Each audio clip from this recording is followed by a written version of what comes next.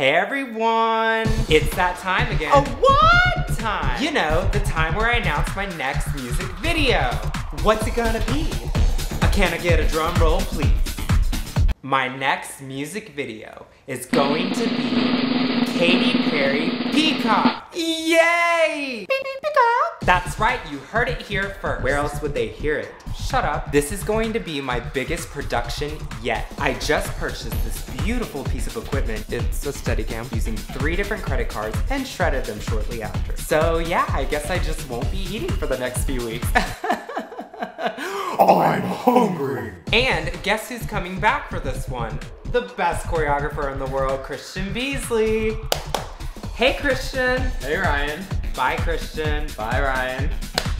Julian Rivera, aka Luna Flare, will also be coming back to do costume and makeup. And everyone else, you'll just have to wait and see. There is one problem though, I'm missing someone, and it's the most important role in the video. I'm looking for one guy, one guy that makes everyone look when he enters a room. One guy whose looks rival Brad Pitt's. One guy who lives in or near the greater Los Angeles area is available next week in August 20th through 22nd and isn't afraid to show off some or most of his skin on YouTube.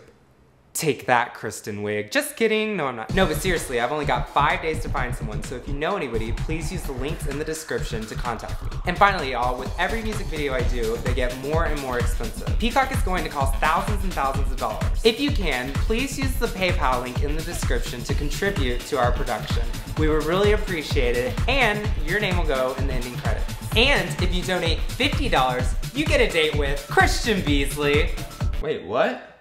Just kidding. No, but seriously, if not, don't worry about it. Keep enjoying the videos. I'm so excited for this video. I can't wait to shoot it and I can't wait for you to see it. My goal is to have it out August 26th, so look for it then. Thanks for watching. Bye, everyone.